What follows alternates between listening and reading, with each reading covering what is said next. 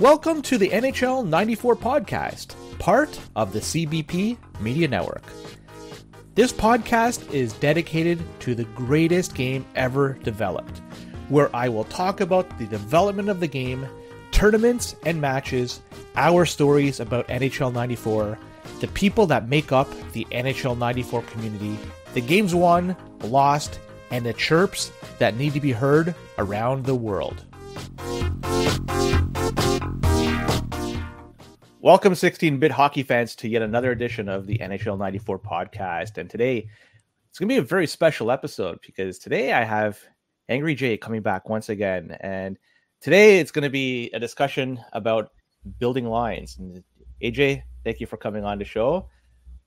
Appreciate you taking time yeah, to come on. But I, I know that you've done this in the past, at least two different avenues. You've done a very lengthy write up on the forums, and still to this date, I use that as a guide for building my lines.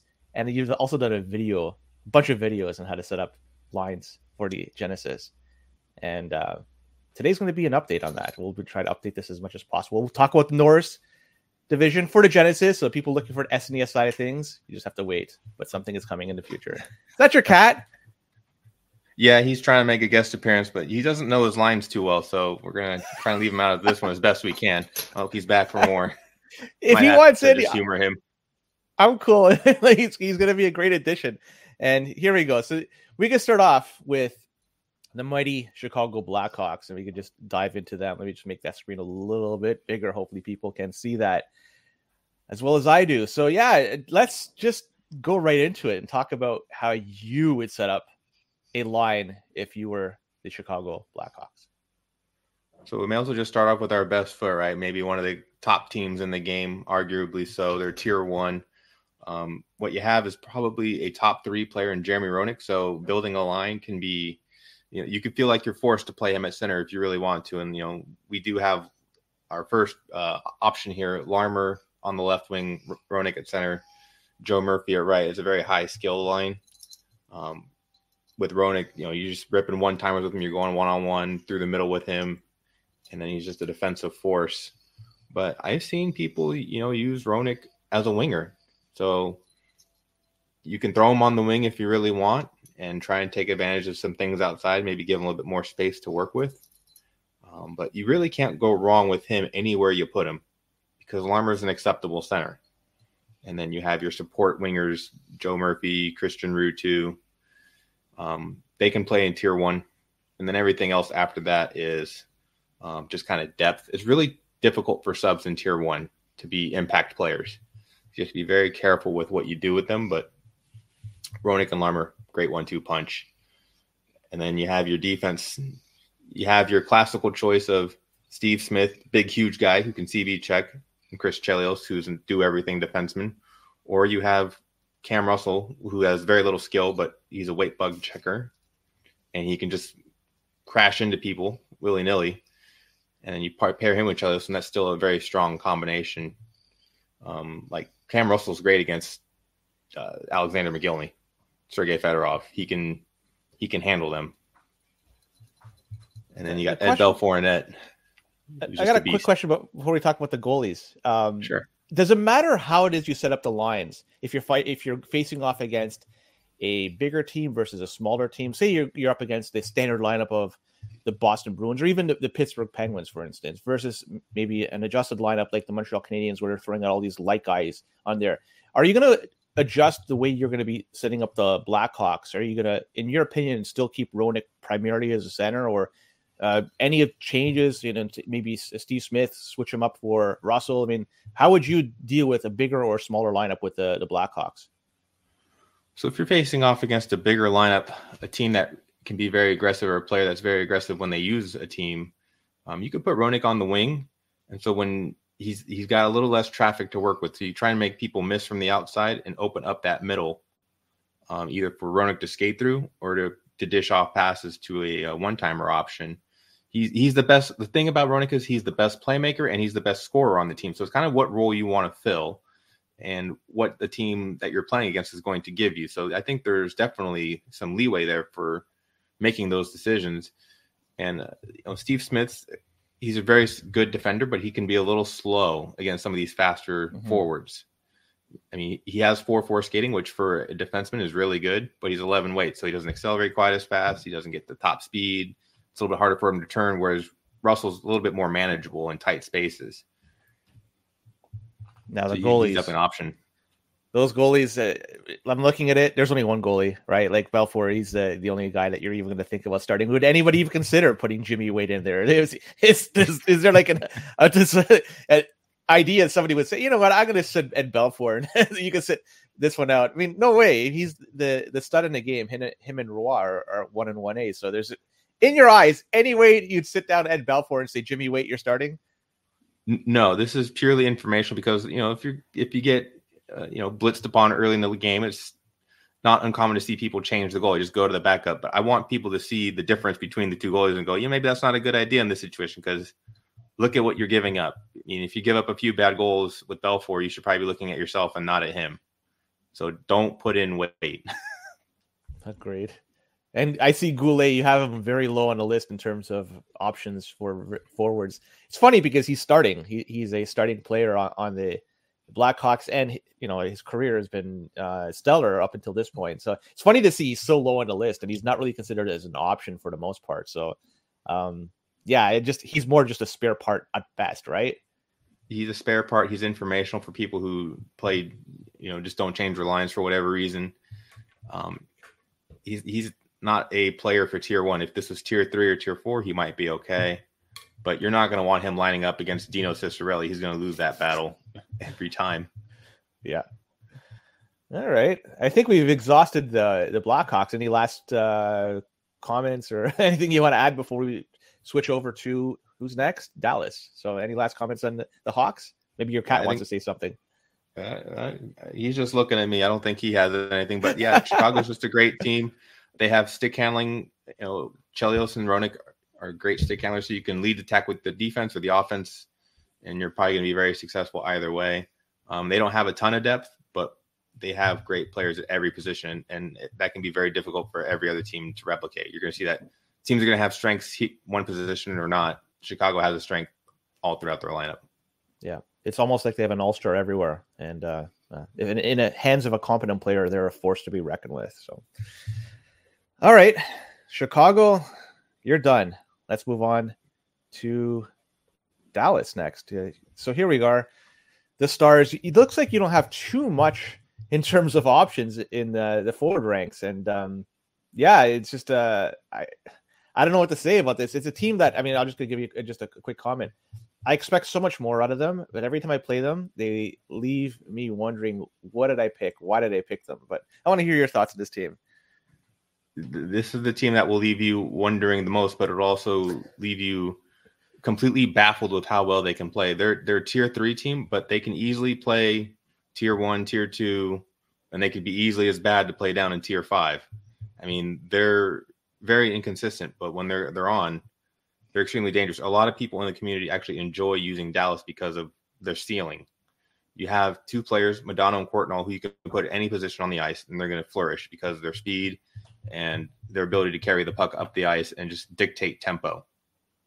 If you have a very aggressive opponent who, you know, just misses checks, this team is going to take advantage of by creating chances all throughout the game. And then you have one of the best weight bug checkers, Neal Broten, who can also play offense a little bit too, um, to play defense for these guys because they don't really have a strong defensive core.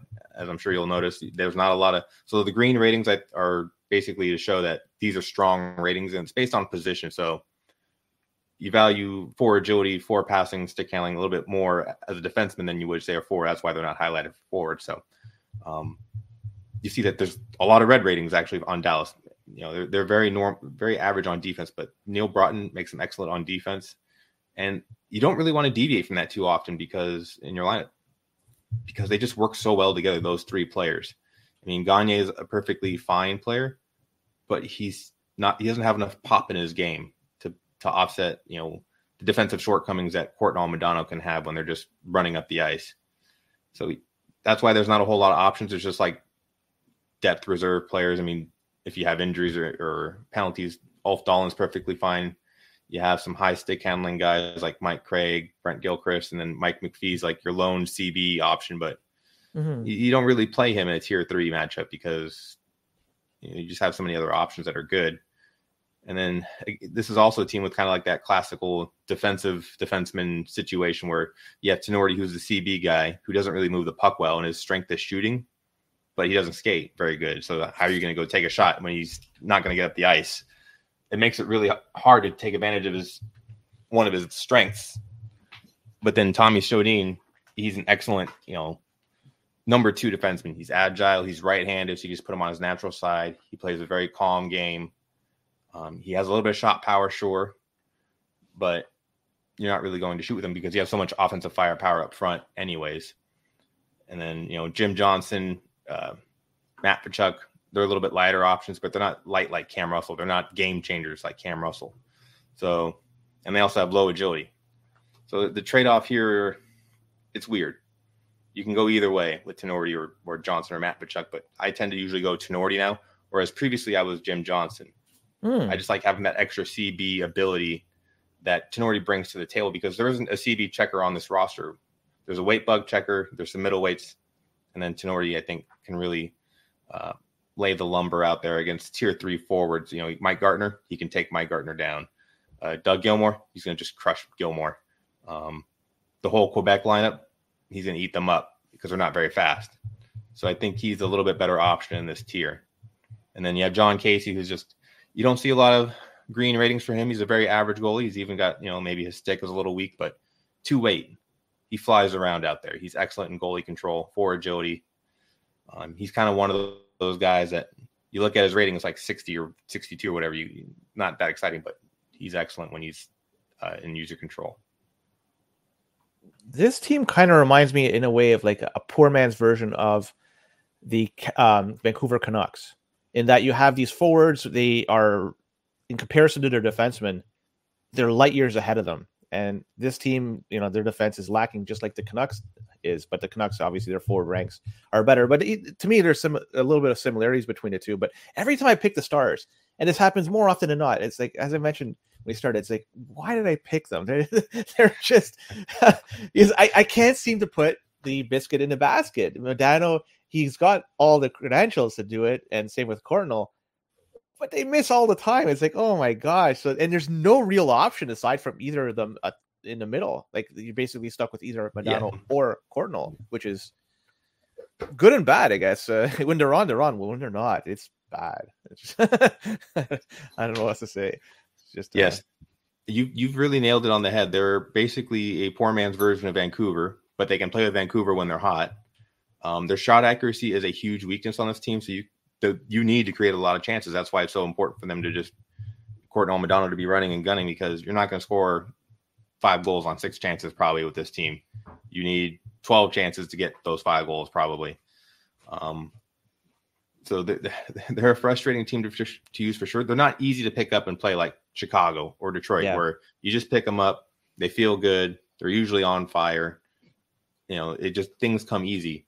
Once you start getting into tier two, tier three, you kind of have these teams where it's like, okay, they're pretty easy to play with, but they don't have a high ceiling, or you got to level up with them. And when you do, watch out. And that's what Dallas is. Watch out when somebody very talented has them working at a high level they're going to look like a tier one team, and that's when you got to watch out.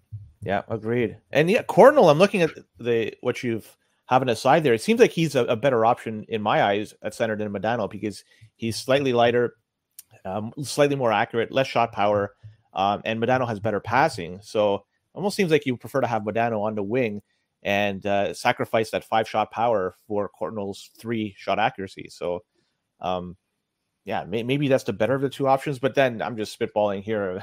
Sometimes things work good on the, the drawing board table, the drawing room table, but actually put in reality and put into practice, it doesn't work out uh, whatsoever. So I don't know. No, yeah, it's you're you're right. That, that either one can play center. Both of them are correct answers.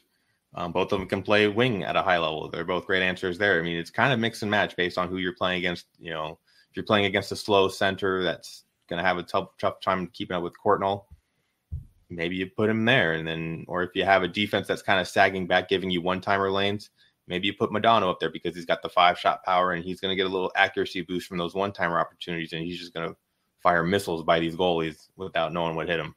Yep. And if you could do manual goalie really well, this is a good team, as you mentioned, because Jon Casey with the two eight gives them the ability to go basically anywhere and be there at the right time mm-hmm. at the right, right place at the right time. So, yeah. Any last comments before we uh, transition off to from Dallas and go to, to Detroit? Just don't be afraid of Dallas. If you struggle with them at first, stick with it. They're worth it. Love it. Absolutely love it. Let's go on to the mighty Red Wings next. And this team, they are stacked. So I want to hear your thoughts on them. Yes, lots of green cells on this roster, especially at the very top of it. Um, this is probably the most skilled team in the game at forward and defenseman. Um, you get Ciccarelli, Yzerman, Fedorov. There's no wrong combination which just to put them in. A lot of people put Yzer, Yzerman at center, Ciccarelli on the slap shot wing on his left side. Uh, I got that. So I got that wrong on Ciccarelli. He's actually a right-handed shot. Ignore the L. That needs to be updated. Um, he's a righty. okay, I'll make the change right now. I can do um, it on the fly. So Ciccarelli is a, a righty. Yes, he's a righty. So there's a lot of agility, like five agility at least for each forward, and five stick handling. Getting and then also Coffey, six agility, uh, five pat, uh, six stick handling. Getting the puck off of this team is a nightmare because they have four guys that can carry the puck up the ice and just dangle your entire team. Um, they have excellent shooters up front, excellent passers. They're all pretty smart. Um, they're all pretty light, so it's tough to line them up with checks, even if it's a weight bug check or a CB check. I mean, you're trying to nail these guys that can just skate circles around most teams. So you just playing against Detroit is a nightmare. You have to play very passive against them. So if you're comfortable dictating the pace of play, Detroit's a great team to have because you're going to have the puck more often than not, probably. And then if for whatever reason you think, oh, I have so much skill, I can diversify my lineup a little bit. You can put Dallas Drake out there on the right wing, and he can be like Neal Broten. He's almost just as good as Neal Broten and it can be useful in tier one matchups. You know, you got Dale Hawerchuk, you got Larmer, you got um, Geoff Courtnall out there. You know, these guys that he can take advantage of when he lines up against them because he's got decent skating. He's got just enough skill to put in a, a, a backdoor one timer or even take a play to the net himself. So he's a very useful bench player who can be utilized in certain matchups. Um, beyond him, you don't really need to use a lot of the depth. I mean, Ysebaert's a perfectly fine player. He's basically an equivalent to Joe Murphy in Chicago. So you can throw him on the ice in tier one, and you're probably going to be okay if you had an injury to one of your big stars. And then Kozlov and Probert, Kozlov's just your weight bug guy, an extra weight bug guy, and Probert's just your big CB muscle. Um, if for whatever reason you need him, he's actually okay. But again, in tier one, it's a little tricky for him. And then you and again you have your classical question at defense. Do I want the big heavy guy like Steve Chiasson who can CB check, or do I want the little weight bugger Lidstrom? Um, I, I tend to go Lidstrom in this situation more often than not because they have very similar skill sets. You know, one player isn't demonstrably better than the other with the puck or in their defensive zone or whatever. Um, so I, I tend to go Lidstrom unless I'm facing a team of all lightweight players um, and then I'll go maybe Chiasson if they're not if that's not a very fast team also um, that we're playing against. And then they, they have defensive depth. Anything you want on defense, like you can't pick a wrong player. That's why basically everyone's listed. They're all playable, even at tier one. You know, you, they're all six weight. They can move a little bit. They can move the puck a little bit. Some of them can even shoot. Um, like they don't have a weakness on the blue line, except you know maybe some people don't like Paul Coffey because he's too inconsistent. Because you try to take the puck up with him, He's a little bit heavy. It's easy mm-hmm. to check him if you if you can line him up. But he can make so much happen that you don't really want to take him out. And he's also, if you put Lidstrom out there, he's just a good CB complement. So you have your weight bug checker on one side, your CB checker on the other side. It provides nice balance and diversifies what you can do on defense a little bit. And then, you know, the only real weakness on this team is Tim Cheveldae, and he's not even that weak. He's just very average goalie, perfectly fine, um, you may have to hold his hand in goalie control a little bit when you have Roenick and Mogilny and uh, other guys of this tier just shooting missiles at him, but he's not the worst. He's not Kelly Hrudey level, so you you take what you can get from him. Uh, I'm looking at Probert. You would list him as a forward reserve. Is there any particular reason you'd want to start him? So you had of, you know, Kozlov, Ysebaert, Fedorov, Drake. Is, is there any reason why, you, without injuries, would you say, you know, Probert is the guy I'm going to start with in this game? Because I'm wondering if there's any sort of lineup or configuration the opponent has that you're starting Probert. If Chaos can figure out how to put fighting a 94, then you put Probert in there just to, to goon it up. this is so chaos. If you could get this going, uh, maybe we could get a GoFundMe round going and get you working on this full time, so we get Bobby Prober playing in the game. It, this team is great. Um, there's very few holes. I mean, in, in goalie maybe, but like you said, he's he's more than competent, especially if you're a very good manual goalie player. Um, Detroit is just god tier, and yeah, there's. I'm looking at the, the, lineups you have there. I have, because I played them quite a bit in the past while. I have nothing to say. You did a great job here. So, any last comments before we switch off to the next team? If you have Detroit, have fun. it's probably going to be a good game. Next one is St. Louis Blues, and it's a team I am starting to absolutely adore. Brett Hull, I love playing with him. I know he, he's slow and a little heavy. Knocking him down is, is simple, but if you could feed him the puck, if you could find a one just brief moment of time where he's open, he's a, an absolute sh- sharpshooter. And there's a lot of lightweight guys that you could throw out there with him just to to keep the opponents honest. So I want to hear your thoughts on St. Louis. It's a really interesting team. Yes, there's not like a lot of teams we've been talking about uh, Detroit, St. Louis, even Chicago aside from Roenick. There's a lot of middleweight players, so playing defense can be a little bit tricky because you have to think about who these guys can check, who they can't check, right? When you have options like this, Nelson Emerson, Bob Bassen, and Brett Hull, Shanahan, it's usually very clear. It's like, okay, well, this guy is just a weight bug checker. Go do weight bug checking. This guy is just a CB checker. Just go do CB checks. I don't really have to consider what's going on around me. You just do it, and that's what makes St. Louis, you know, pretty easy to use, especially in its tier. Um, they have lineup options, like you said. Um, so Emerson, Hull, Janney is like kind of like the default line. You get one heavyweight who can just absolutely blast the puck past any goalie in the game, Belfour and Watt included. You have Emerson, who's a great weight bug checker. He can carry the puck up the ice just enough to create offense to help Brett Hull get those one time opportunities. And then Janney, who's just a very smart player. Um, he's your middleweight. So you have weight diversification. You can look at who you're playing against on defense and go, okay, well, maybe there's a big CB checker against Emerson, but the Janney matchup is better. I'll use the puck, I'll carry the puck up with Janney instead and create plays on that side of the ice as much as I can to, to feed Hull because that's basically what you want to do at the end of the day. That's that's why Brett Hull is always a center in these line combinations, is because he's just the best center and you want that guy just shooting rockets from the middle of the ice anywhere inside the blue line. Mm-hmm. And then you can even attack the middle of the ice with Hull himself sometimes, especially in tier four, because you have some heavier teams. So they're not always going to have weight buggers or CB guys to just to rock him with. He has that five stick handling, so he can go through traffic, keep the puck on a stick. He could even toddle a little bit if somebody if he does get hit, and he's just very dangerous and close. Um, his shot power is, is just a dream to use. And if you get in close, you don't really even notice his three accuracy. So um, he's excellent out there. Uh, Brendan Shanahan's kind of a he's always a, an interesting player to ice out there because St. Louis is a little bit heavy, um, especially when you have Hull and you consider their defense. If you start Butcher and Brown, that's a lot of big guys out there. You're starting to look like Pittsburgh, but they have. I think St. Louis has more skill than Pittsburgh if you really look at it, just kind of um, in their ability to score goals and create plays. So you know, there's certain matchups where Shanahan's actually decent, and you get Emerson out there with him, and to keep the other team honest. And then if you really don't like big dudes, you can go Emerson and Bassen on the wing and just muck it up like it's 2016 with weight bug checking only, and uh, just getting your opponent's head with them. But the, the, the thing with the St. Louis is they don't have a lot of depth after that. It's a pretty slow team in general, and their reserves don't really solve that problem for them. You know, Ron Sutter, Kevin Miller, they're perfectly fine, serviceable role players, but they don't have a lot going on in their game. They're just they're just consistent contributors that you know you can you can go to the bench too and feel comfortable in within this tier, but they're not game changers. Uh, and then the defense, Brown's your number one guy. Uh, he's got one of the best shots as a defender, but again, he's got the Mark Tinordi problem. Getting up the ice is an issue.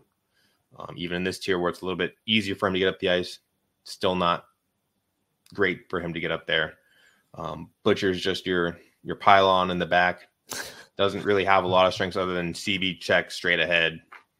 Um, and he'll usually stay in his own zone. He doesn't stray too far, thankfully, because he's never going to get back if he does. Um, and then you just have this absolute litany of options of various quality. I mean, some of it's good, some of it's not good. Like Kurt Giles is the lowest rated defenseman on the roster, but he's also the lightest. So mm-hmm. that can be useful um, because he skates just well enough. It's a lot of his puck skills that drag down his rating. So at least he moves with three agility. Um, can chase down some people sometimes. And then, you know, Doug Crossman is like your middle of the road guy, not exciting. So I don't usually play him. Steph Stefan Quintal is your big ugly guy um, who can move the puck a little bit. So when he actually does have a successful check, you're not panicking right away, like, okay, what do I got to get this thing out of here, and I don't know where it's going to go. He can actually direct a pass, help break things out. Whereas ba- Murray Baron is the guy who skates a little bit better, but then you don't know where the pass is going or if he's going to be able to hang on to it after. So he's he's a little bit more scary. And then uh, I put Rick Zombo on there because he's the default sub, and if you don't if you don't sub him, you're going to see him, and he doesn't really do a whole lot of anything special, but he's he's kind of like Doug Crossman, just nice middle of the road player, very unexciting. And then uh, Curtis Joseph in net, um, very solid goalie, a little overrated because his strengths are in his awareness, and we haven't really quantified what those awareness ratings do quite yet. Whereas agility, weight, and the and the stick glove ratings, puck control, they're more quantifiable, mm-hmm. and he doesn't have anything outstanding there. He looks very shovel dayish when you look at him. Hmm. So hopefully his brain, you know, comes into factor. But basically, you're getting Tim Cheveldae otherwise. But it's a very exciting team. I, I actually enjoy this team a lot. I've gr- grown to love them. I hated them, hated them for years. It's like, what do you do with this team? I don't know. And it just clicked one day.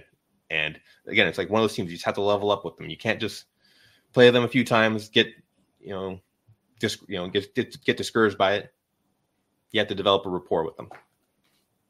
Yeah, I find you could play like a, a kind of a defensive game against almost any team out there, and then you could just wear them down in terms of that defensive game, and then finally just get that one opening, and then just Hull gets it that shot, and well, you have the lead. I find that it, it can be frustrating to play against if you you're playing against the right person that's using St. Louis because just the players they have and the types of combinations you could throw out there. There's lots of different options out there with them. So I, I love playing with them. They're they're a lot of fun to although I lose my fair share of games with them. Let's be perfectly honest. I'm not winning with them, but I'm having fun. But they can have one, some dud games, yes. One question I have for you though, because I see there's a, a pretty good disparity between your home ice advantage and your road ice advantage or disadvantage, sorry. So with that being said, do you tailor your team, your St. Louis team, different at home versus the road? Mm, I might be less afraid to change up my roster on the road. If I see someone's really struggling out there, um, I might change it up to just because you do have options. You have players with very clear strengths and weaknesses on this team, and um, you don't really struggle to to see the differences in the players. So if I see something's not working right away, yeah, you can change up because you're gonna have a very different option on the bench. You're not just praying that someone very similar is going to be somehow different. Yeah. Well, St. Louis, I think we're done with them. Unless you have anything else you want to say, any final comments before we transition to, geez, who's next? Tampa. Ooh, that's gonna be a fun one. But yeah, St. Louis. Any last comments on them? Uh, no, I just learn to love them. They're they're actually a really great team, and when you have a team with clear strengths and weaknesses, it can make it very uh, easy to develop game plans with them. All right, now let's go to Tampa, one of the newer teams in the game. This is their second year, I think, in the league at this particular moment. So they had a little bit more of established roster compared to the other expansion teams, but still, um, lot of bad, but one really good. I'm looking at Brian Bradley. That guy is an absolute stud in the right hand. So yeah, I want to hear your thoughts on Tampa. Yeah, so just so people understand, Tampa was in the Norris division their very first season, so this isn't a typo. It's not us going crazy. We didn't fall off, you know, hit our head mm. somewhere. This is this happened. This is real life, so it's okay. Um, I remember this. I remember, yeah, they were playing the Leafs and everything. Like I remember them being in the Norris in the first year. Uh, so yeah, definitely. And and yep. also going back, we had Dallas in the Norris. It's because the Minnesota North Stars were in the Norris division before they moved to Dallas. But yeah, I just wanted to to make a note of that. So sorry, I didn't mean to interrupt you. That's okay. Yeah. Um, so when you get into tier six, you're going to see a lot of red ink. You know, there's going to be a lot of losses in these rosters. but uh, Brian Bradley, he's the top player in the tier, um, especially at forward. I mean, maybe Gord Murphy's a better player at deep on defense in Florida, but oh. Bradley's really difficult to beat. He's he's he's the top guy. I mean, just the fact that he has weight bug checking ability like he does, he has a little bit of agility to go with it. So when he's playing against these slower teams, he's perfectly capable of running down anybody in this tier and just throwing them into the glass, putting them on their back, and then turning the play around. Um, so he's gen- he's generally going to be your center because he's that powerful. He's like Roenick in this tier. He people are scared of calling Tampa Bay in this tier because he's a problem and he has good support, especially up front. Uh, Kontos is a great secondary scorer. Um, he's not super heavy, so he can handle a lot of these defensemen in this tier and, and play through them. Uh, he has good offensive awareness, so hopefully he finds those right spots on the ice because he's going to be a great secondary option. Once Bradley attracts all the attention, you just slide it over to Kontos and you have a very good scorer in his own right on the other side. Um, and that's kind of the end of the goal scoring on this team. You get those two guys, you try and get four or five goals, and that's pretty much it. Because you know you got a bunch of bit players aside from them. Uh, Steve Kasper, he's just a lightweight, not a great offensive player. He's a good checker. He's got four check rating, so you just kind of leave him alone on his own side. You go run around with Bradley, let Kasper do his own thing, and he'll knock some people over. So he's useful in that regard. Um, mm-hmm a lot of people play Mikael Andersson. Um, so I have him on one of the line combinations. I don't personally like Anderson at all because of his low agility and low puck skills, but he's pretty light. He's got four speed that can be useful in this tier because there's not a lot of four speed players. And then Rob DiMaio, uh, he's also an option on like a weight bug checking line where you have Kasper, Bradley, and DiMaio on the right. Um, so you have two five weight guys and a four weight guy. They can just run run roughshod on all these teams in this tier with with those three guys, and you're going to need that help because your defense is pretty bad, um, your defense core. And then you know there's other there's still other options in Tampa Bay. You got your middle of the road guys, Marc Bureau, Danton Cole, and you have your CB guy, John Tucker, who doesn't really get a lot of ice time, but he's there if you want a CB guy. And then the guy you need to watch out for is Adam Creighton. He's a default mm-hmm. sub at center, and if you have Bradley, um, in the box and Kontos is somewhere else or he's on the left wing, you're going to see a lot of Adam Creighton, and he's not very good. So you may be interested in subbing him out. so, uh, Chicago didn't have their hearts broken when they lost him in the expansion draft. yeah, there's not much options I can see at the forward ranks, and but even a defense is just. I'm shaking my head at these these uh, rankings here. They're pretty bad. I can't see much out there with anyone would be very happy to see out there. no, this is this is the worst defensive core in the league, and it didn't help that they traded three or four guys at the trade deadline. They traded Rob Ramage, they traded a uh, uh, Taglianetti to Pittsburgh, they traded uh, a couple other guys. I, I, can't think of them right right off. Top, uh, I think Doug Crossman, who we just talked about. Um, mm-hmm. So a lot of their depth just got dispersed around the league in March, and they were left with this which is not great. Um, Bob Beers, he's your number one defenseman somehow. I mean, he has number one number one defenseman type name, but a number four defenseman type skill. well said. you know, the goalies and the goalies don't help either. so would you i mean i'm looking at this is jablonski your go-to guy just the sheer fact that he has the lowest weight in comparison to the other two guys i'm looking at wendell young and JC Bergeron. They're a little bit heavier. So is Jablonski the guy you're going with? Uh, no, I, I, usually just stick with Young. I, he's got a little bit better save ratings. So the hope is if he ever saves anything, he actually hangs onto it or knocks it wide of the net instead of having trickle in. Um, Jablonski's, and he's also got lower agility. Jablonski's got two agility compared to Young's three, so that's a big deal. I would take the extra agility point over the one less spe- uh, weight uh, point, where Jablonski might move a little bit better, but not at that agility. Um, that's just not going to work. So these forwards have their work cut out for them.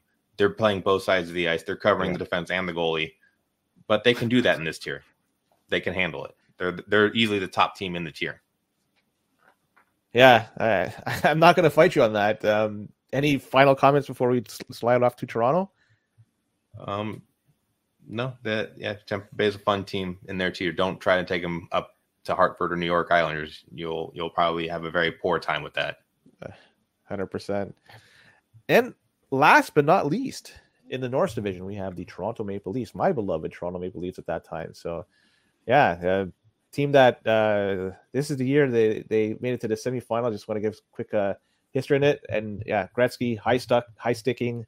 Uh, Gilmour, the referee didn't see it, and uh, the rest is history. So, take it away. What are your thoughts on Toronto Maple Leafs? for, for a team that went so far in the playoffs and had a good regular season, they have a very average rated team. You get one superstar, Doug Gilmour, who even some people don't really care for because he doesn't have like an elite skill aside from checking. He doesn't have five stick handling to go through trap. He doesn't have five shot power, five accuracy, five speed. Um, he's just kind of the Swiss Army knife who's a pain in the neck to play against, but doesn't really um, take the team into like another stratosphere. And then he doesn't have great help. He has good help. Borschevsky's a good uh, second player. Uh, usually have him on the left wing. Uh, you use his playmaking ability as best you can to try and set up Gilmour for one timers, but he's not like a great defensive option. He's not super fast. He's just a nice, decent player. And then the third forward spot's the tricky one. You have Glenn Anderson, who's just lesser Borschevsky. Mm-hmm. So you have basically the same player on both sides of Gilmour. that can get a little redundant. Um, John Cullen's a little bit better with the puck. He's right-handed, so he can do EA specials from the left wing. Um, he's agile, so he's actually really um, elusive, especially when you have like five-speed Gartner, Tikkanen, Modano, Courtnall, these guys trying to run this guy down. He just plays like in these little pockets and is very annoying for these faster players to try and track down if you're playing very tight and technical hockey. So he can be a useful player. He's a little bit different than Anderson, who's a little bit faster and you don't lose any skill with Cullen. You actually maybe gain a little bit. And then Wendel Clark. I used to start Wendel Clark a lot, not so much anymore. His he has great five shot power, but he's slower. Um, in this tier is tough for him because he's not the same playmaker that John Cullen. He doesn't have that extra agility point. He's not right handed like John Cullen. So the right handers have better skating as opposed to left hand because the animations of the, the two players. So you value that extra agility point a lot with John Cullen, whereas Clark's just he's kind of blah when he skates. So it can be he can get lost in a game. And then you have Andreychuk, who's just more like Clark, or I mean, yeah, more like Clark, but heavier, really tough mm-hmm. to use. Um, so I almost never play him. I just put him there for an option just in case you're really struggling for something and you need a goal. Like if you need a goal off of, off a one timer in the offensive zone with like a few seconds left, he's gonna be their best option, one of their better options. So he's just something to keep in mind. And then Mike Krushelnyski is the default sub at center when Gilmour inevitably goes to the box, which he does all the time, and get him out of there because he's not he's not a strength to this team. So he's got he's got a lot of red ink down there, and he's slow, so he's not going to be very helpful. So Borschevsky, Gilmour, those are your two mainstays, and then decide what you want to do at the other wing: Anderson, Cullen, or maybe even Clark if you really want that shot power for some reason. And then the defense is also pretty simple. Dave Ellett, your clear, obvious number one defenseman. Very good in this tier. He can skate. He can move the puck. He's got great shot power. He can hit. He does a little bit of everything out there. And then you have your choice, Jamie Macoun, A little bit more CB checking, but not. He's not overly large. He's only he's at eight weight, so he's kind of a middleweight. But then you have Todd mm-hmm. Gill six weight, not a weight bug checker, but light enough to do some weight bug checking against the bigger players like Tikkanen um, he can get, but he's very low skill. Macoun has a little bit more skill, so I usually go Macoun, but Gill's perfectly fine as well. And then Bob Rouse is your reserve guy, um, the lone right-handed defenseman that's useful on this roster. He can CB the snot out of most players, ten weight, four checking, um, good reserve defenseman, but terrible with the puck, terrible. Uh, and then Felix Potvin, your number one goalie. He's one of the better goalies in the game. He's probably number four after Waugh, Belfour, Pure. Uh, he's excellent. He's got the big brain like Curtis Joseph as well, but a little bit better save ratings to, to pair along with that big brain. And uh, uh, you'll see him in draft leagues with starter credentials, but he's nowhere near the level of Potvin. So usually you just leave him back there. He's a very heavy goalie as well. He's not agile, so he can be tricky to move around. But he's great for like if you have a guy just crashing your net, um, he can withstand a lot of those net crashes because of how big he is. Uh, you know, it's, it's, it's this is a tough team to use with matchups because you have one player that's excellent and one defenseman that's really good, and then the rest of the roster is just kind of like, well, we're here, we can help, but you know, we're not going to do anything outstanding. Um, and you play a lot of teams in tier three that are that can do outstanding things. Dal- uh, Dallas, the Rangers, they have very high ceilings. They can be very tough to keep up with for Toronto if they're really clicking. And then Quebec, Quebec's a good matchup for Toronto because it's not they're not a very fast team. They're very similar, so they, they actually have a lot of good matchups with Quebec. Yeah, and that's uh, you're basically describing what they were in real life. They were a gritty team that just they, they played with an edge, didn't have a lot of skill, but they were able to, to get it all together and work their way to a tremendous season. And I'm looking at, at their defense, and one thing I noticed is all the ones you listed, Ellett, Macoun, Gill, and Rouse, they all have four checking. So leaving them alone and letting them do their thing is is sometimes a good thing, especially Macoun being a little bit heavier and having better defensive awareness than say Todd Gill. Just let let Ellett and Macoun do their thing, and they'll be able to be a pretty decent force for the most part. And so it just seems like you have to play with the forwards in the defensive zone and try to try to lend a hand like that. I don't know if if that's a good analogy or a good um, analysis of this, but I want to hear your thoughts on it. That's actually a really great point, and I didn't realize they all had four checking until I put it into the spreadsheet. I go, oh wow, yeah, they all have four checking. That's that's very unique. You don't usually have a defense core like that, and they all can move fairly well. Um, so it is encouraging to see that, and then it encourages you more just to use Gilmour. Like you don't feel bad about using Gilmour. Like oh, I got this defenseman I should be using to try and yeah. make get more out of him. It's like no, he's probably fine by himself. I'm gonna go chase the play down with Gilmour, be annoying, get that third guy in there, and really that's Gilmour's biggest strength is his defensive tenacity. He's got five agility, four weight.